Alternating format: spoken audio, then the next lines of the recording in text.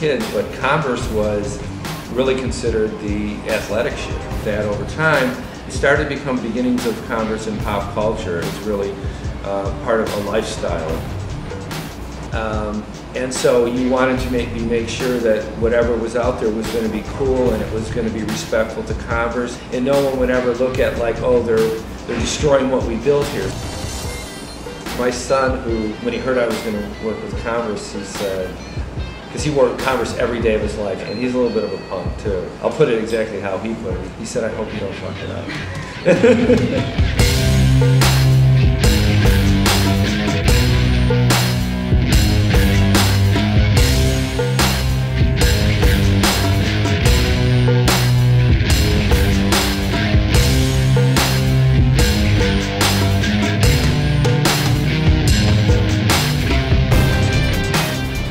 we took a spot that was very near and dear to a lot of people's hearts, CBGB's, and it was closed. It had been closed for over a year, so we didn't we went, we didn't aid that closing by any means.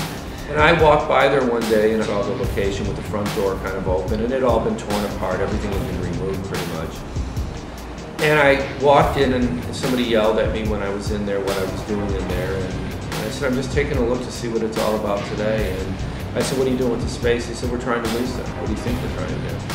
And um, I said, well, um, just kind of standing in here, I'm, I'm, thinking I might be interested in it. And I had never thought about it before that moment. You know, I, I, I have a super big passion for music, you know, in, in reality in a way more than fashion, you know. But I love the way that I've been able to blend the two together and make them work for us.